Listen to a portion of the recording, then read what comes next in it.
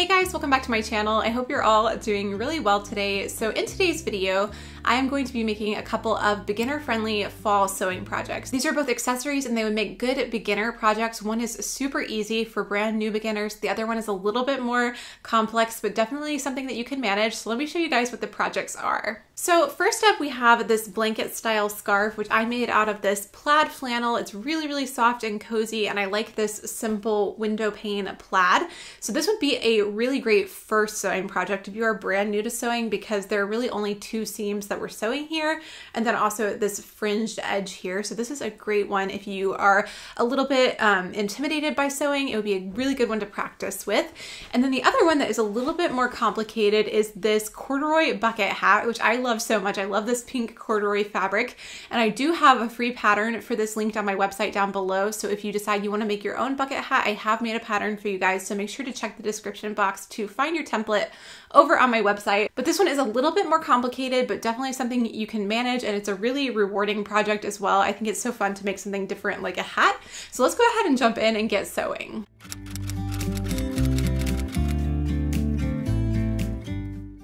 So let's start out with a blanket scarf. I'm using two yards of this flannel fabric that I got from Joann's. You could use just one yard and then cut the piece in half and use the two pieces and sew them together down the middle, but I went with two yards to get the full length that I wanted without having to put a seam in it.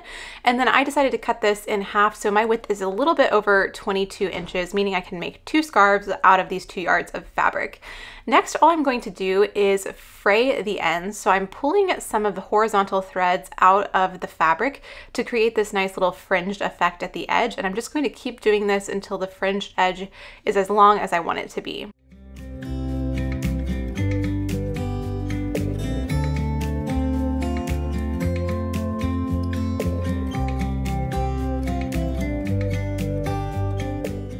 And if your fringe ends up a little uneven as mine is looking here, you can just use your scissors and trim it to make it a little bit more evened out.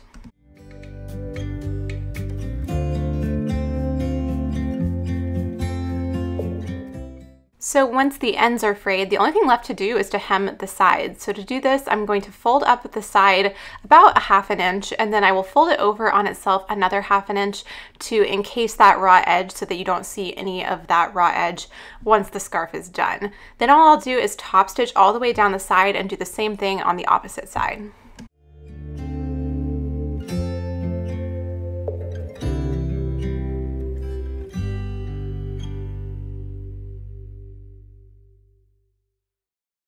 This is the only actual sewing that you do in this whole entire project, so it's a great opportunity to practice just sewing in a straight line. If you are newer to sewing and getting comfortable with your machine, you'll just have these two long seams to stitch down.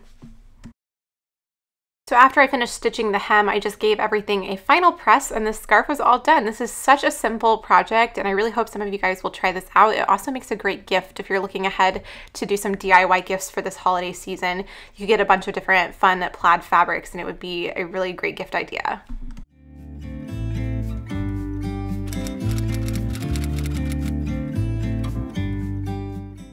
Moving on now to the bucket hat, you'll need a couple of different things for this. First up, a half a yard of fabric. I'm using this corduroy, which is so, so cute.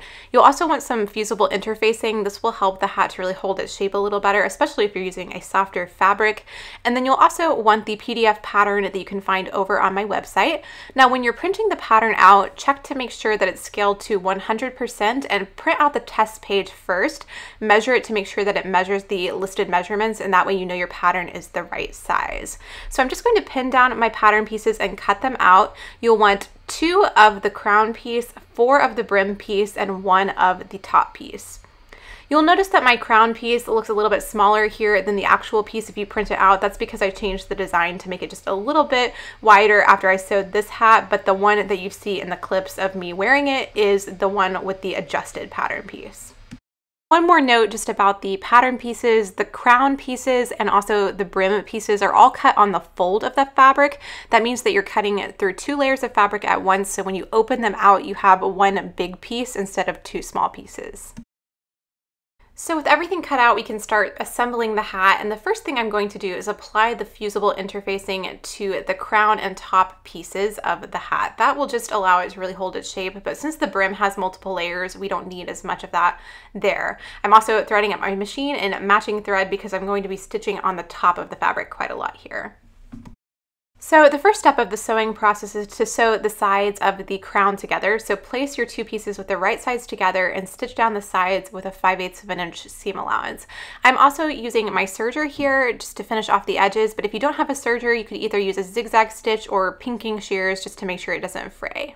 After pressing those seams flat, we're moving on to attaching the top of the hat to the crown. And this part is a little bit tricky, so be really slow and careful as you do this and be really patient with yourself as you're trying to sew it down because it can be difficult to keep everything nice and even, but just match the right sides together and pin the crown of the hat all the way around the top as best you can without getting any puckers and stitch this down with a 5 8 of an inch seam allowance. I find that I really have to take my time and adjust as I go around the circle to make sure I'm not catching any excess fabric here or making anything pucker or anything like that. If you do end up with little puckers in your fabric, it is not the end of the world by any means and you can kind of disguise it when you iron this down. So don't worry about it too much. It'll get a lot easier with practice.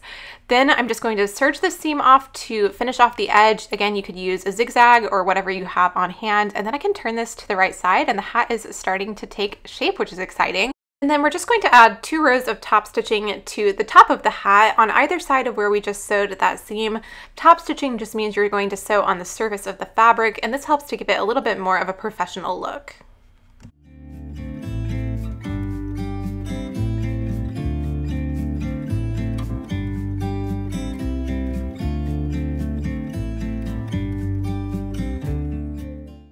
So now we can move on to making the brim of the hat. So first things first, we'll sew the side seams. So match these up in pairs with the right sides together and then sew the side seams with a 5 8 of an inch seam allowance.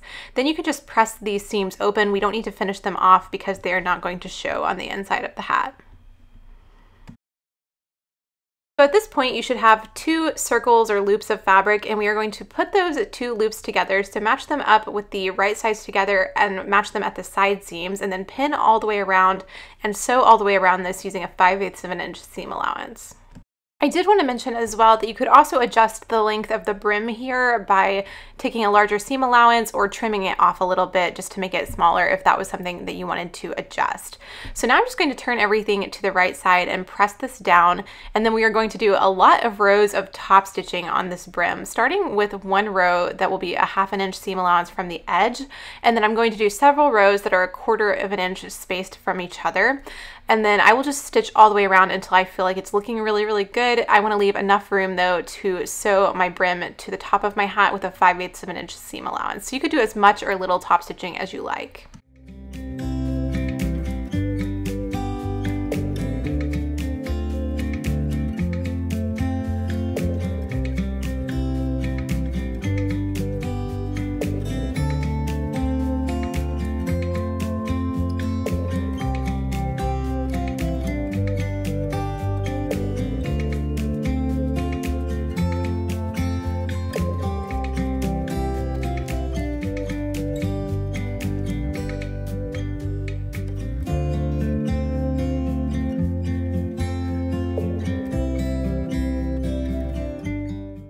Are what the two halves of the hat look like at this stage and now we can go ahead and put them together. So I'm just going to match up the side seams of the brim with the side seams of the top and pin all the way around the circle here. Then I'll just sew this down with a 5 8 of an inch seam allowance and also serge the edge.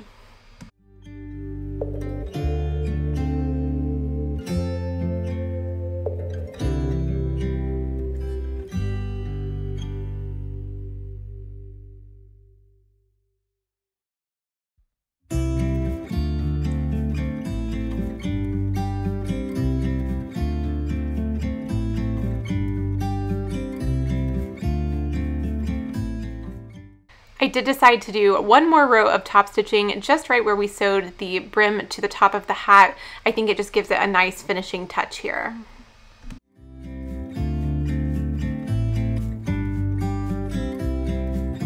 after I finished top stitching, this hat was all done. This was such a fun project for me. I've never made a hat before, but I did have a blue bucket hat when I was 12. That was one of my favorite things, so it's kind of nostalgic for me. But I hope some of you guys will try it out as well. Alright guys, that is going to be it for today's video. I really hope you enjoyed seeing these two projects. I really enjoyed making them. I especially had fun doing the bucket hat.